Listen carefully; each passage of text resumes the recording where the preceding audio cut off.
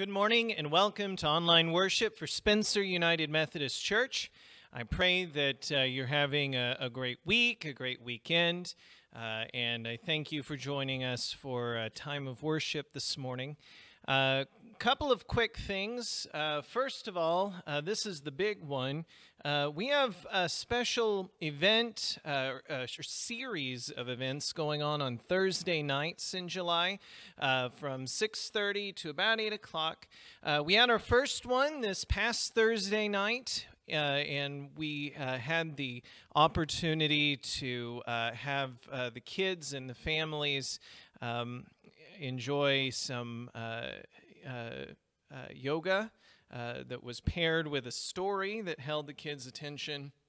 We had a nice time of, of, of fellowship and community afterwards.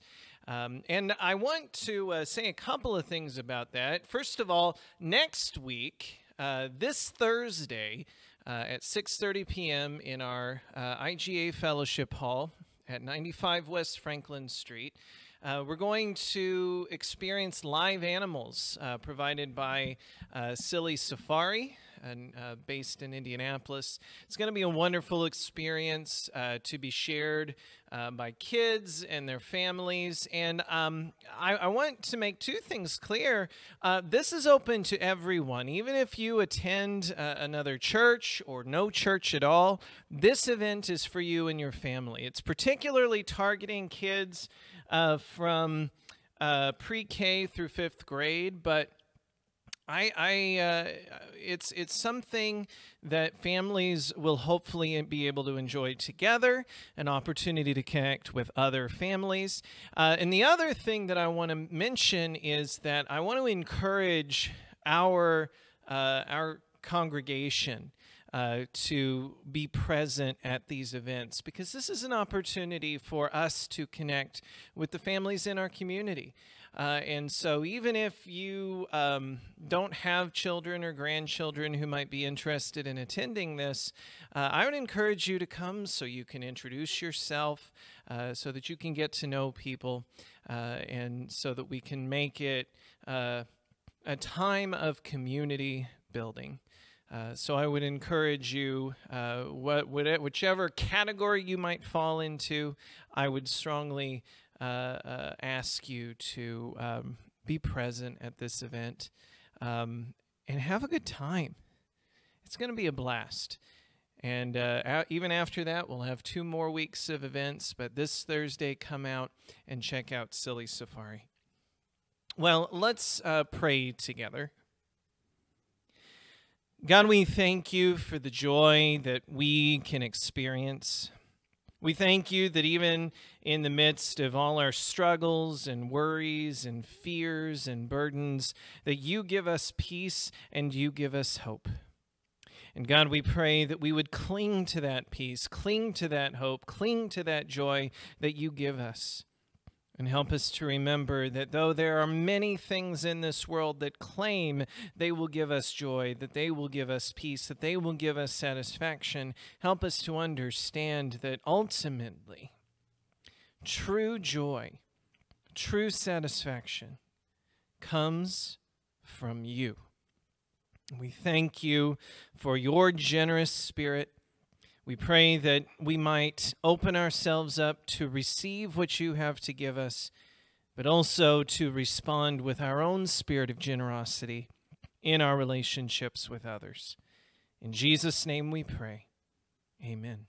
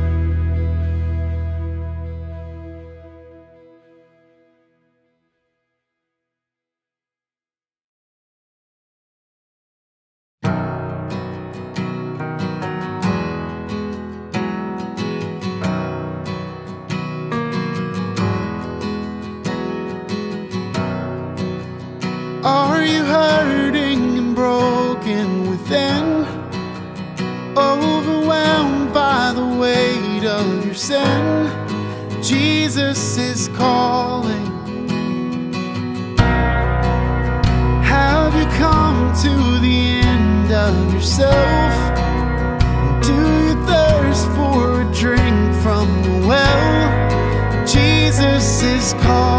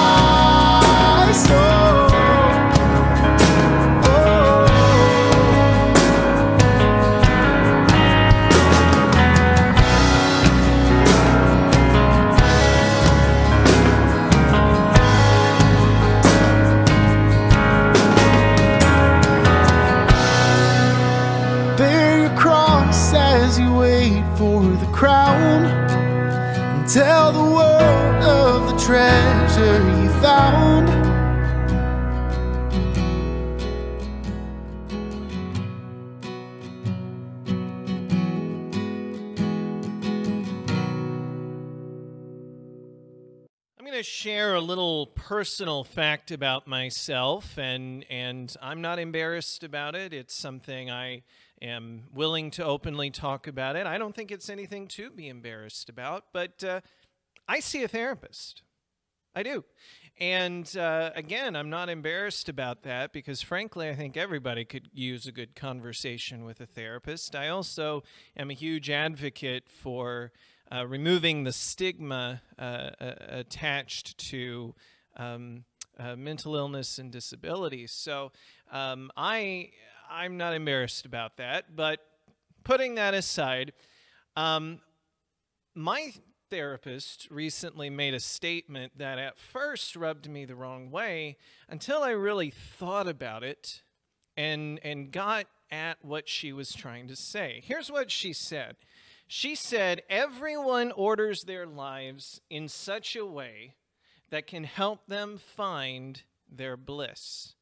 And I think the reason my initial response was a negative one is how I interpreted the word bliss. How I interpreted the word bliss was it means whatever makes me happy, whatever makes me feel good, and the reason I had a problem with that is because I strongly believe that order orienting our lives around what makes us happy or what makes us feel good leads to a lot of problems for ourselves and for those in close proximity to us. But the more I thought about it, the more I realized that's probably not what she meant by the word bliss. She's not talking about fleeting feelings and fleeting uh, happiness. That's not what she's talking about. When she talks about bliss, she's talking about a, a level of satisfaction with one's life. It's, a, it's that feeling that one is living the way he or she was meant to live. And I think the reason I was confused is because the the concept that she referred to as bliss, I might refer to differently. I keep using the word satisfaction to describe it. In fact, it's in the title of this message this morning. But the Bible has yet another word for that state of, of satisfaction, that state of living as you feel you were meant to live. And this is the word shalom. Now, if you've been in Christian circles for a long time, heck, if you've ever met a Jewish person, uh, you have probably at least heard this word. And more than likely, the meaning that you've been taught for this word is peace. But the fact of the matter is, the word shalom means a lot more than peace. Now, to be fair, it, it does it does get used that way. It can refer to an inner tranquility, an inner peace, or it can refer to relational peace, peace between uh, human beings. But it means a lot more than that. Shalom is bigger than what we English speakers would refer to as peace. It's bigger it's it's there's a lot more substance to what that word means than just peace. It can mean prosperity, and I'm not talking about financial prosperity. I'm not an advocate of the prosperity gospel. The kind of prosperity I'm talking about is a holistic one, not just a financial or material one, but one of body and mind and spirit. It is a it is an it is an overall well being. It is a functioning as you are intended to function. It is a flourishing, like a garden that is beautifully tended and fed and watered. That is the essence of shalom. And I can point to examples in the Bible where it was used for other ideas besides peace. Specifically, Shalom is often used to ask after someone's well being. In the Old Testament, in the book of Genesis, Jacob uses the word to inquire about the well being of his uncle Laban. Joseph, Jacob's grandson, inquires about his father using this word for well being. Shalom is also used to wish someone well when saying goodbye. For example, uh, Moses' father in law, Jethro, when Moses goes back to Egypt to lead God's people out of slavery, Jethro uses the word shalom to wish Moses well upon his departure. When uh, going back to the book of Genesis, when Joseph um, is consulted by Pharaoh about some disturbing dreams that Pharaoh has, Joseph responds that God will give Pharaoh the answer he desires, or more accurately, the answer that will bring him shalom. So there are layers to the meaning of shalom, and it's a lot more than just peace. And when we come to familiar passages that use the word shalom, and we understand that it's more than just peace, it's more than just tranquility. It is a state of well being, dare I say it, a state of holistic satisfaction. Although I'm not entirely sure that's, that even covers all that shalom entails. But it certainly casts these familiar passages in a new light. Let's look, for example, at this blessing from uh, that uh, was the traditional priestly blessing spoken over God's people in the Old Testament.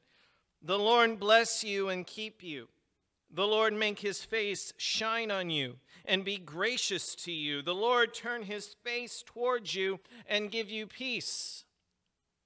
And of course, the word translated here into English as peace is the word shalom. But shalom, again, is so much more than peace.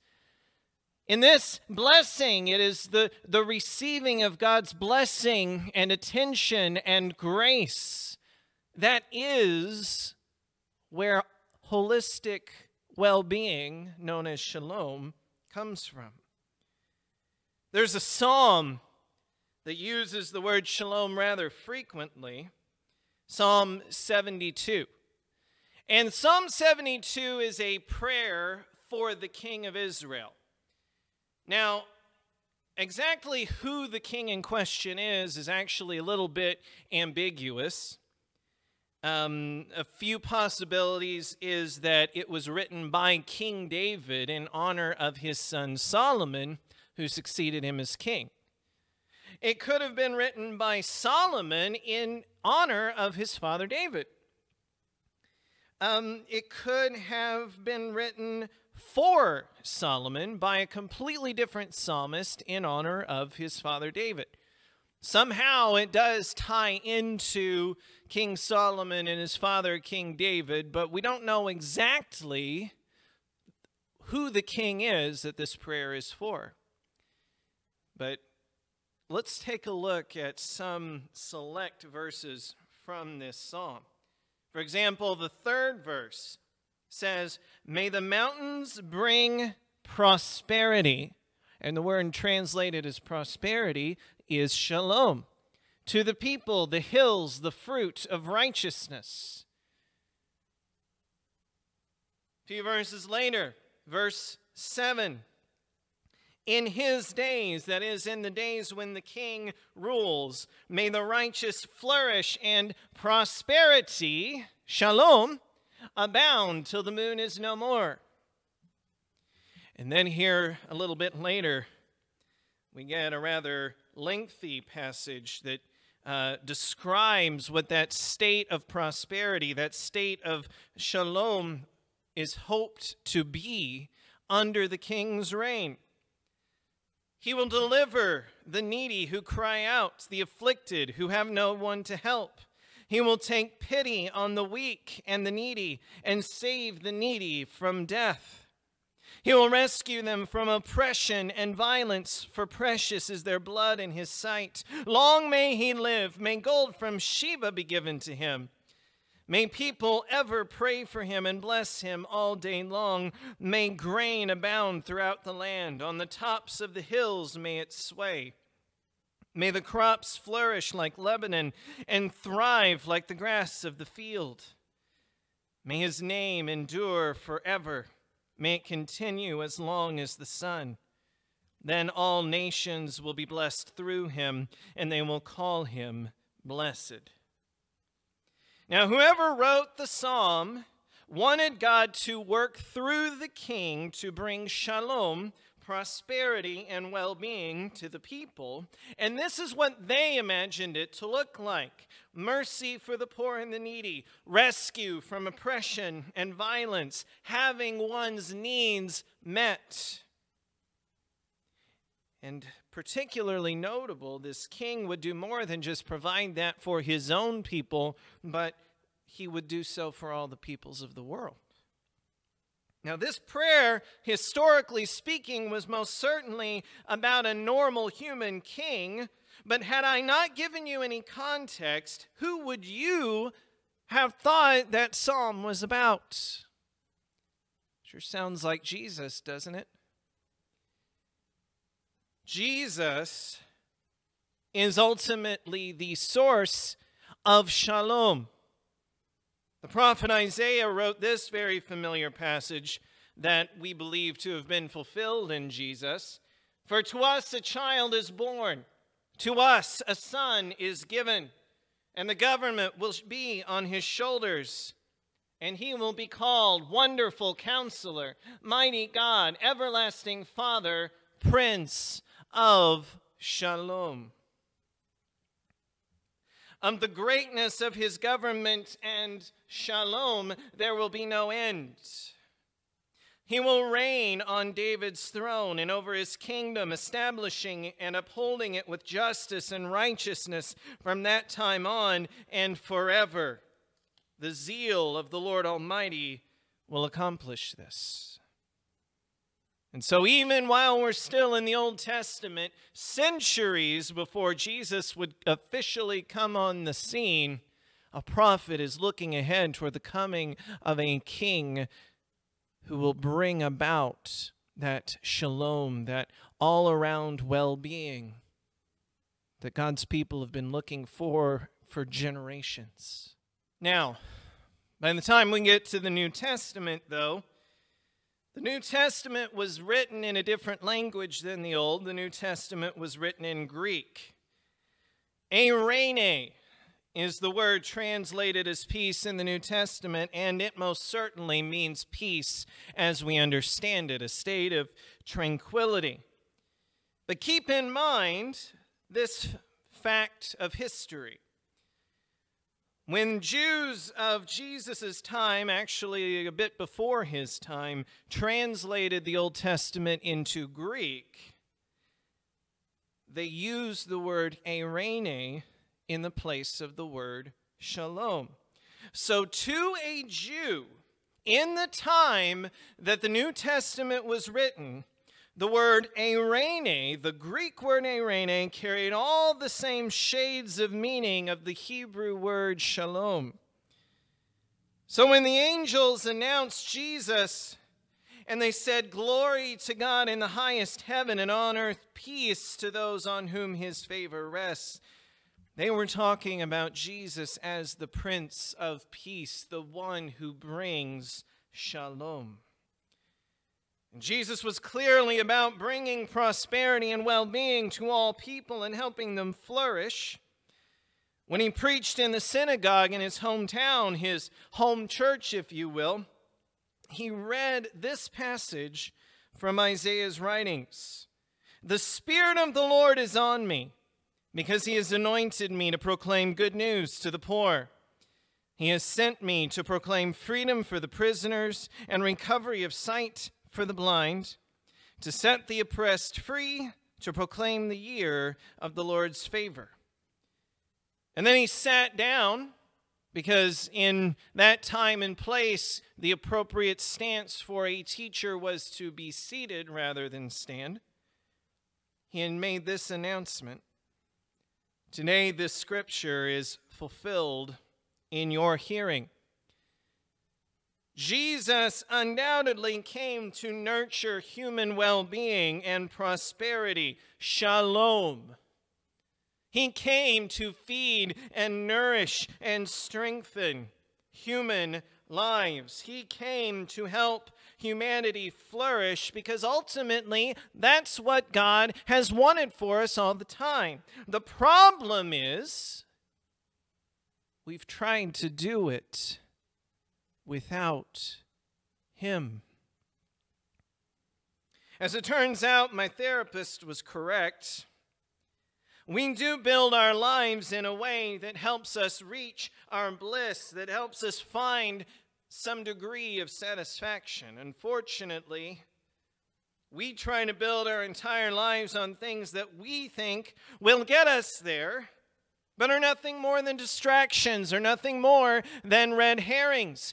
Oh, this sort of satisfaction, this sort of, of, of, of prosperity, this sort of well being, shalom is only available through the Prince of Shalom. So, the question I have for you is what is guiding your search for satisfaction in life? Love? Family? Your job? Your hobby?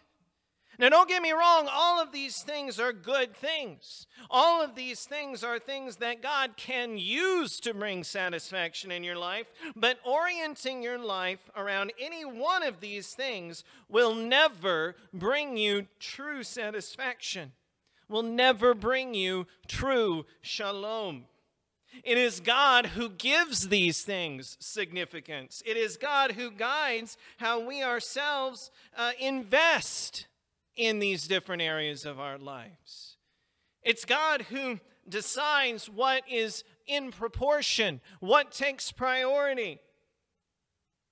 It is God who gives significance and order to our lives. But perhaps another important question is this one because we're not just responsible for seeking shalom for ourselves, but we're also called to nurture it in others. That's what Jesus did, after all. What are you doing to ensure that others experience true shalom? Are you sensitive to the overall well being of those closest to you? Not just their physical needs, but their emotional needs, their relational needs, their uh, spiritual needs. Do you seek to be part of the solution and not part of the problem? Are you more concerned about taking than you are about giving? Are you working to make life better for other human beings, or are you part of the problem that makes life harder for others? Do you seek to shape our world so that all human beings can truly thrive? Or do you seek to shape it in such a way that only you can thrive?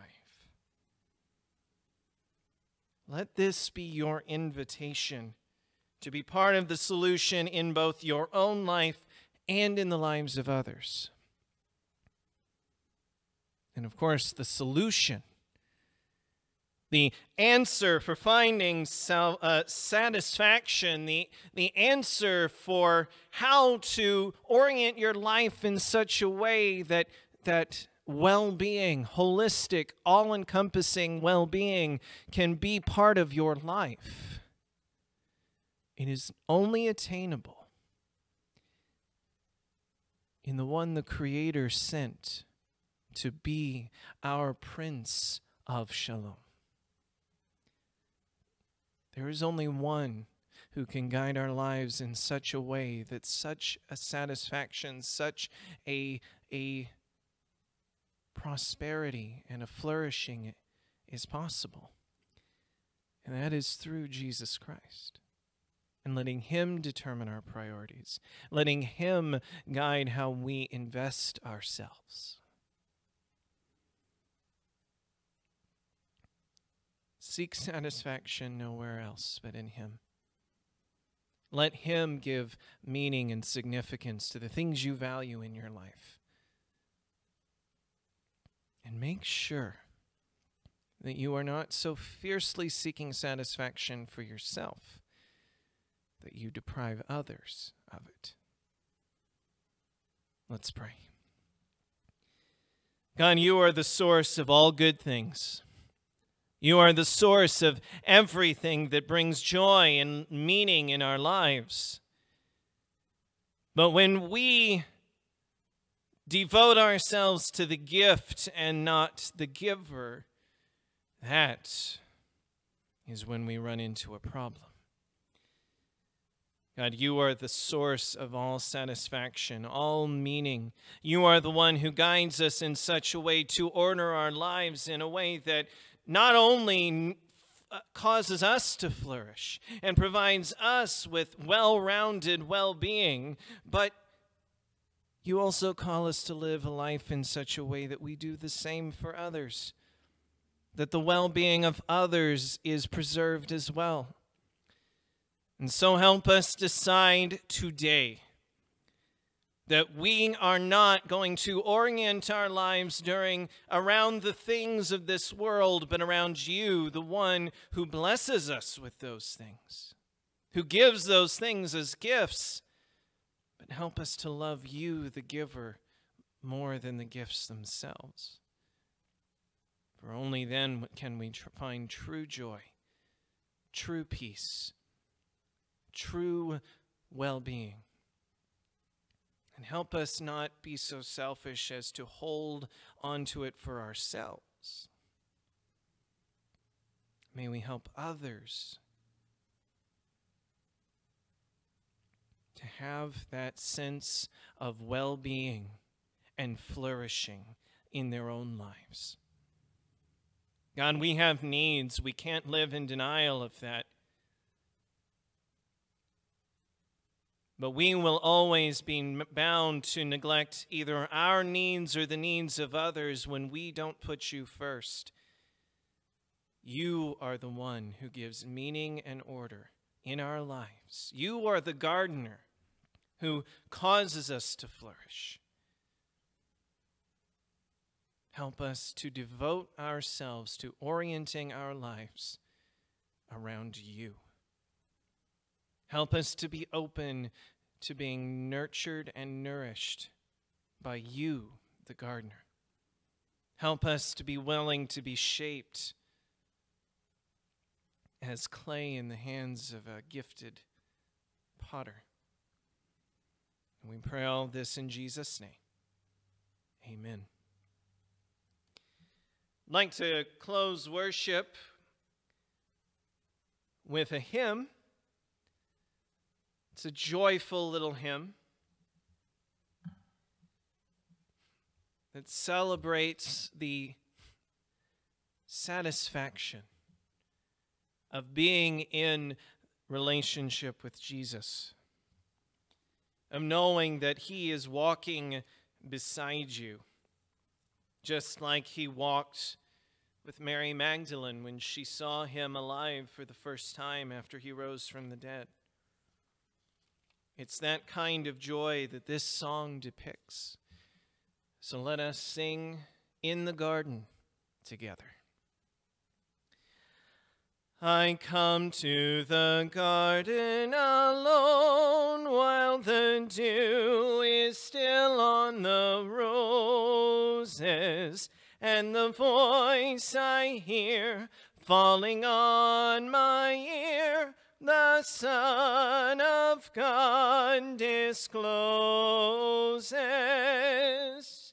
And he walks with me and he talks with me and he tells me I am his own.